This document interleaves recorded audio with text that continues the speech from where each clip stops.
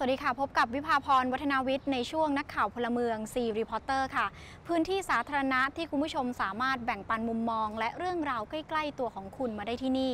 เป็นเวลา 6 เดือนแล้วนะคะ ที่วิทยุชุมชนหลายแห่งทั่วประเทศไม่สามารถออกอากาศได้ค่ะ หลังถูกคำสั่งระงับการออกอากาศชั่วคราว ด้วยเหตุผลที่ว่าถูกมองเป็นเครื่องมือทางการเมือง และเป็นโฆษณาชวนเชื่อนะคะ แต่สำหรับในพื้นที่ 3 จังหวัดชายแดนใต้ เมื่อวิทยุชุมชนที่มีบทบาทในการสร้างความเข้าใจกับคนในพื้นที่ถูกระงับการออกอากาศ ปฏิกิริยาที่เกิดขึ้นจะเป็นอย่างไร ติดตามกับนักข่าวพลเมือง C Reporter ค่ะถ้าไม่สามารถพูดได้ ประชาชนก็ไม่มีสิทธิ์มีเสียงคือว่าเสียงไม่ใช่ของเขาเขาก็ไม่ใช่ของเขาประเทศนี้ไม่ใช่ของเขาเป็นของของของคนกรุงเทพใช่ไหมไม่ใช่ของชุมชน คือว่าสิทธิในการมีส่วนร่วมสิทธิในการพูดคุยสิทธิในอะไรเนี่ยเราไม่มี เอาแต่ฟังอย่างเดียวนะครับ แล้วก็พูดเราไม่มีเราไม่มีสิทธิ์จะพูด เสียงสะท้อนจากสถานีวิทยุชุมชนขนาดเล็กจากพื้นที่ชายแดนใต้ จากการถูกสั่งปิด สถานีวิทยุชุมชนอย่างไม่มีกำหนด หลังจากมีประกาศคอสช ฉบับที่ 32 ทับ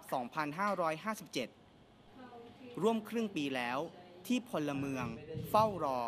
วิทยุชุมชนที่ไร้เสียง วิทยุชุมชนเนี่ยเขาจะสื่อสารด้วยภาษามลายู ภาษามลายูเนี่ยรู้สึกคนที่ฟังรายการเนี่ยจะรู้สึกใกล้ชิด แล้วก็ไว้วางใจ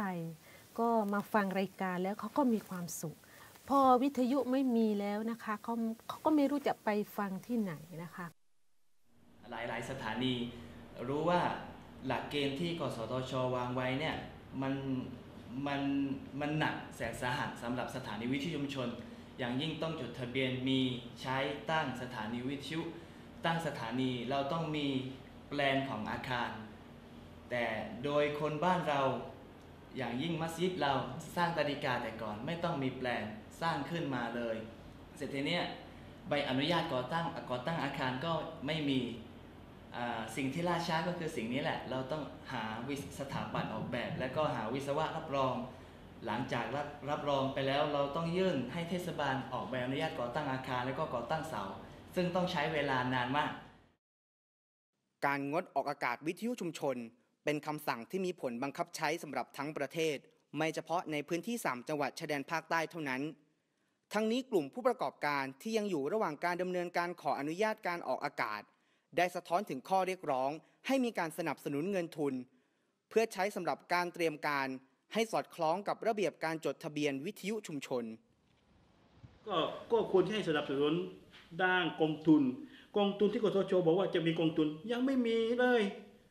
มีเลยก็เราก็หลังวันก่อนก็หวังเงินนี่เงินกองทุนเขาบอกว่าถ้าไม่มีโฆษณานี่จะมีเงินกองทุนให้ ก็ไม่มีก็รออยู่ เราก็ไม่รู้ไม่รู้จะเอาเงินที่ไหนมา จ้างค่าเงินเดือนพนักงานเนี่ยเพราะฉะนั้นเนี่ยถ้าหากว่าเป็นไปได้จริงๆในอนาคตบทบาทของสารวิทยุที่มีต่อสังสารเนี่ยโอ้แบบคนที่จะมีกฎหมาย เอื้อ ไม่ใช่มีกฎหมายริดรอนสิทธิ์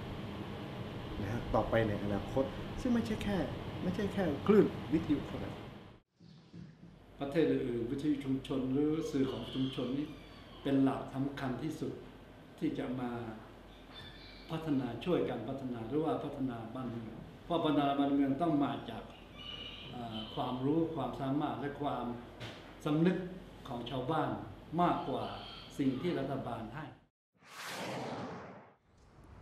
วิทยุชุมชนที่เกิดขึ้นตามเจตนารมณ์ที่แท้จริงคงจะเหลืออยู่ไม่มากแล้วนะคะ แต่สิ่งที่สำคัญยิ่งกว่า คือการกระจายทรัพยากรทางการสื่อสารที่มีอยู่อย่างเป็นธรรม เพื่อให้เกิดประโยชน์กับประชาชนส่วนรวมมากที่สุดค่ะ พราะทุกเรื่องราวที่เกิดขึ้นในสังคมล้วนแล้วแต่เชื่อมโยงกัน คุณผู้ชมก็สามารถร่วมเป็นส่วนหนึ่งกับนักข่าวพลเมือง ด้วยการแบ่งปันมุมมองของคุณ ผ่านทาง facebook.com/citizen-thai-pbs หรือทางหมายเลขโทรศัพท์ 0949761285 เพราะพลังการสื่อสารอยู่ในมือคุณ และกลับมาพบกับ C Reporter ได้ใหม่ สวัสดีค่ะ